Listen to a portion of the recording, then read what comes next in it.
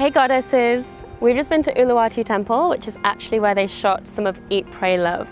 So it made me think about love, specifically self-love, which is something that I teach a lot about. And a lot of people ask me, how do I reach self-love? And if I've learned anything along my journey, it's that self-love isn't something that you just reach, it isn't a destination, it's actually a great adventure. And it's a practice. So I want to share with you today how I practice it and also how I teach it as well, because I think it's kind of different, but it works.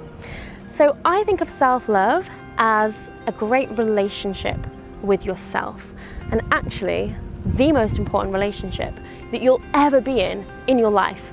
It's the only relationship that you're in literally from the start all the way to the end and it's what all of your other relationships are based upon. So it's pretty freaking important.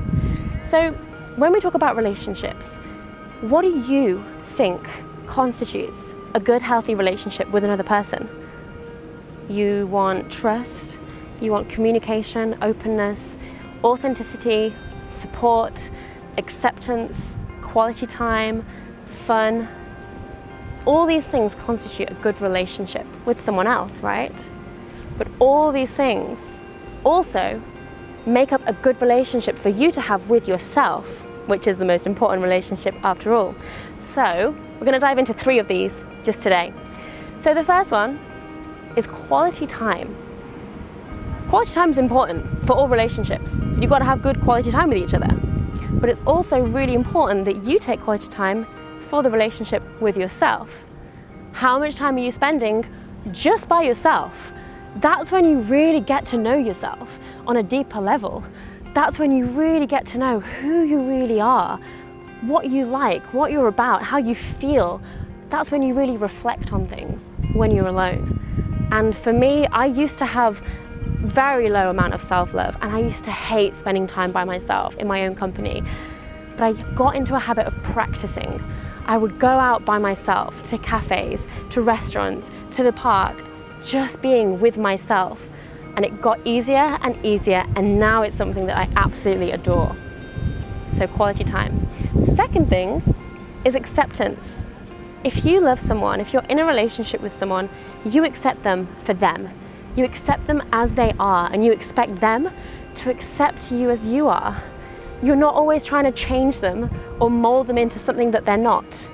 That's important in a relationship. But it's also super important in the relationship you have with yourself. If you want to amp up your self-love, you got to start to accept yourself, girl. Accept your arms, your nose, your accent, your funny laugh, all those little quirks and flaws you've got to love them because you're not just one in a million, you're one in eight billion. There's literally no one like you. And you wouldn't try and change the person you're with. You wouldn't try and compare them to everyone else in the room. So don't do it to yourself. Accept all of you because you're pretty unique. And the third thing is respect.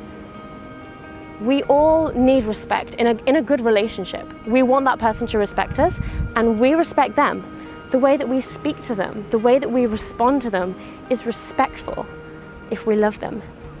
So if you want to love yourself more, ask yourself, am I respecting myself in the words that I speak to myself? Like, would I say what I say to myself to someone that I love? How do you speak to yourself? Is it, you're too fat, you're not good enough, nobody likes you? Can you imagine ever saying that to someone that you love? So don't say it to yourself. Think about how you show up in your relationships. And then think about how you show up in the relationship you have with yourself. This is how you're gonna amp up your self-love to the max.